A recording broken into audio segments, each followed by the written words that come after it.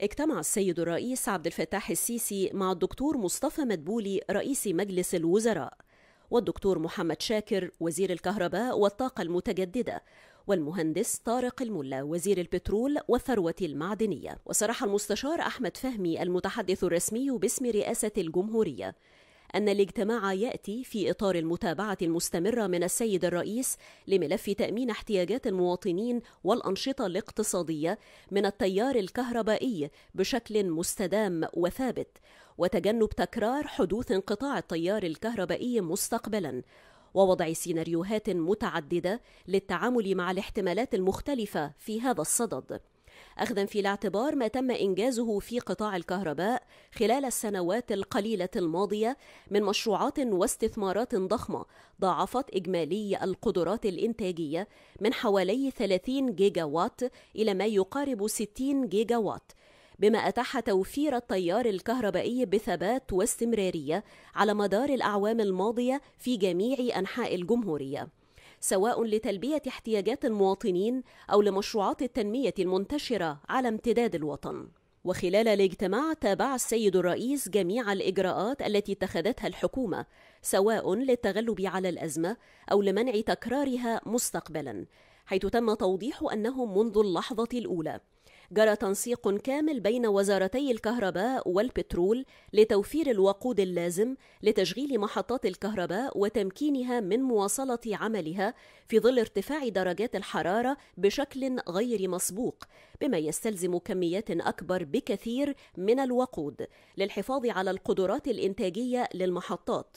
في الوقت الذي زاد فيه الطلب العالمي على الوقود من العديد من دول العالم في المنطقة وخارجها بسبب تعرض تلك الدول لذات الظروف على نحو فاقم المشكلة وأدى إلى حتمية اتباع سياسة مؤقتة لتخفيف الأحمال وترشيد الاستهلاك مع مواصلة الحصول على الوقود الإضافي اللازم وتوفير الموارد المالية المطلوبة لذلك اخذا في الاعتبار دعم الدولة لفرق السعر الكبير بين تكلفة شراء الوقود اللازم لتشغيل محطات الكهرباء من الخارج بالعملة الأجنبية وأسعار الكهرباء المدعومة في السوق المحلي. وأضاف المتحدث الرسمي أن السيد الرئيس أكد خلال الاجتماع حرص الدولة على التصدي لأي مشكلات أو أزمات تواجه المواطنين وحلها على مستويين. الأول يتعامل مع الظروف الطارئة والعاجلة والثاني يتضمن الحلول الجذرية والهيكلية التي تضمن منع تكرار المشكلات مجددا.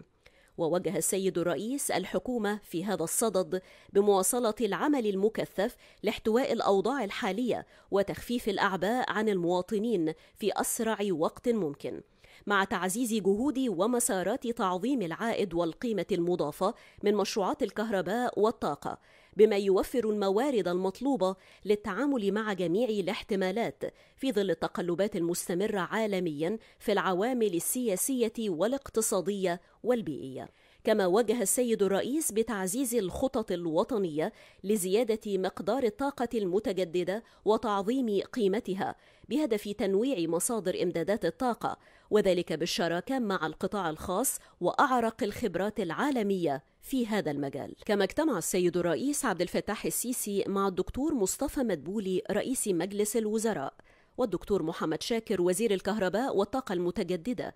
واللواء أمير سيد أحمد مستشار رئيس الجمهورية للتخطيط العمراني والعقيد دكتور بهاء الغنام المدير التنفيذي لجهاز مستقبل مصر للتنمية المستدامة. الاجتماع تناول متابعة تطورات الموقف التنفيذي للمشروع القومي للإنتاج الزراعي مستقبل مصر. حيث اطلع السيد الرئيس في هذا الإطار على الموقف التنفيذي وتطورات المراحل الحالية والمستقبلية من مختلف الجوانب خاصة ما تم إنجازه من مساحات منزرعة وموقف إمدادات المياه والطاقة الكهربائية وجميع مكونات البنية الأساسية اللازمة للمشروع.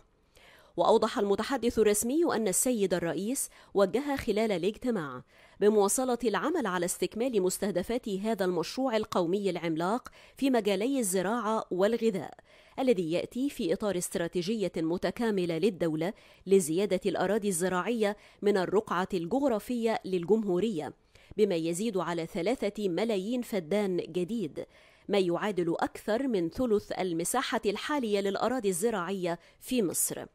الأمر الذي يمثل ضرورة استراتيجية للدولة المصرية لمواجهة متطلبات الزيادة السكانية وتحقيق طفرة إيجابية ملموسة في الخريطة الزراعية والغذائية لمصر على النحو الذي يبني القدرات الذاتية للدولة ويحقق مصالح الأجيال الحالية والقادمة من الشعب المصري.